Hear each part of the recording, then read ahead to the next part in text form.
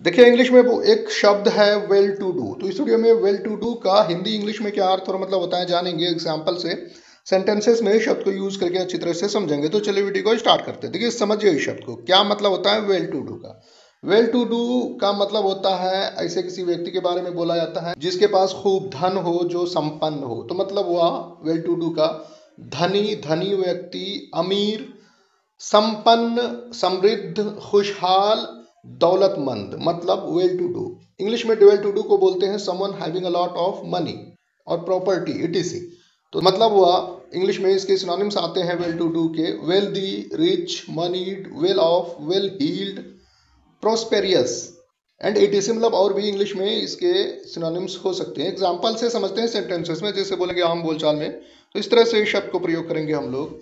कि हर family is very well to do मतलब उनका परिवार बहुत संपन्न है तो वेल टू डू मतलब संपन्न। दूसरा एग्ज़ाम्पल है कि he was born into a family of well to do मतलब उनका जन्म एक संपन्न परिवार में हुआ था। ठीक है तो उम्मीद आपने वेल टू डू शब्द को हिंदी, इंग्लिश में एग्ज़ाम्पल के साथ में अच्छी तरह से समझ लिया है। Thanks for watching Educare desk